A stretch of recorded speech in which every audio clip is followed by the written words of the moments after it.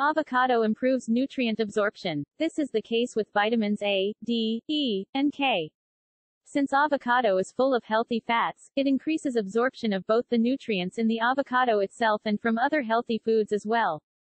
Avocado protects the eyes. Avocado contains the carotenoid and antioxidant lutein, which is a key player in eye health.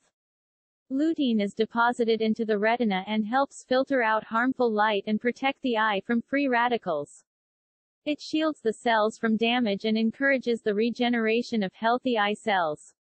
Eating foods with lutein protects your eyes from developing diseases such as macular degeneration and cataracts as you age.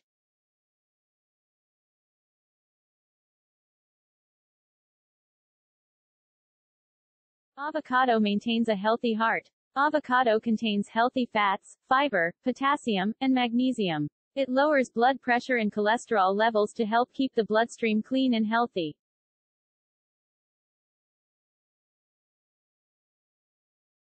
Avocado prevents constipation. Avocado contains a lot of fiber. A diet high in fiber is linked to lower risk of cancer, hypertension, diabetes, and obesity, not to mention constipation.